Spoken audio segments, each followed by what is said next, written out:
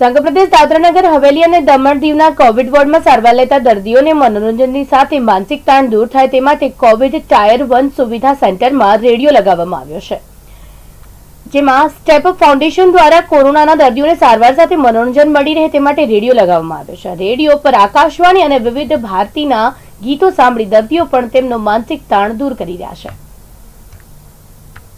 Well, it is uh, of great privilege for our NGO Step Up Foundation to uh, provide radio facilities at Tier 1 and Tier 2 facilities of uh, uh, Daman uh, COVID Center. As uh, there was a demand from all these COVID patients that has uh, they are taking treatment, they want they wanted to have some entertainment, some programs, and they wanted All India Radio to be fixed up in their COVID center.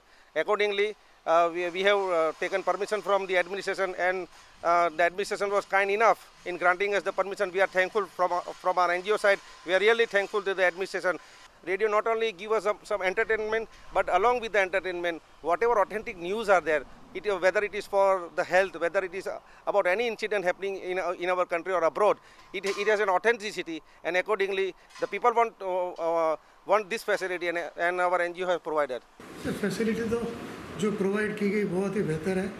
Marwar में भी मैं धन्यवाद करता हूँ प्रशासक महोदय से लेकर हर नीचे बंदे तक जो इस कार्य में लगे हुए हैं जो ये सेवा कर रहे हैं उसके लिए दिल से धन्यवाद सबका। वीडियो प्रोवाइड किया गया है इंटरटेनमेंट के लिए वो बहुत ही अच्छा है उससे दिल लगता है और म्यूज़िक एक ऐसी चीज़ है जिसको सुनने से स्ट्रेस कम होता है।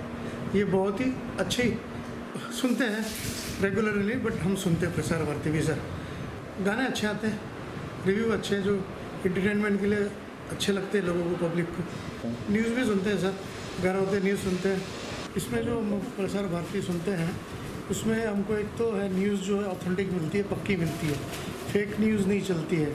आजकल जैसा मीडिया पे देखते हो कि मीडिया पे हर एक तरह अपने अपने डॉक्टर बने हुए हैं, अपने अपने सब नुस्खे देते हैं तो प्रसार भारती पर भरोसा करें, जो आपको सटीक न्यूज़ और सच्चा न्यूज़ देते हैं। मैं आई एम वेरी थैंकफुल कि जो हमारे एडमिनिस्ट्रेशन सर ने चा, मुहिम चालू की है जिससे लोगों को रेडियो दिया है।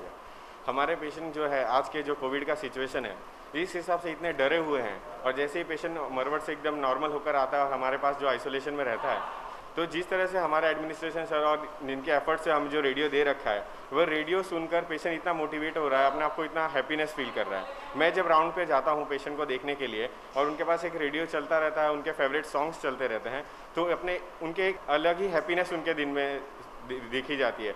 So this music therapy is helping very much to the patient they are getting motivational and जो पेशेंट वो अपने अपने जो उनके ओल्ड सॉन्ग हैं न्यू सॉन्ग है, जो दूरदर्शन और आकाशवाणी से जो सब आ रहे हैं सब, वो सुन के वो और खुश हो रहे हैं। तो जो आकाशवाणी और दूरदर्शन जो फैक्ट न्यूज़ जो उनको स्प्रेड कर रहे हैं और वो जो सुन रहे हैं, उसके हिसाब से they are very getting out of the depression so I am very thankful कि जो हमें इन्हें रेडियो प्रोवाइड किया हुआ है वो उससे वो हमारी रिकवरी उनकी बहुत अच्छी हो रही है। म्यूज़िक थेरेपी जो आपको पता है मेंटली और फिजिकली बहुत मोटिवेट करता है।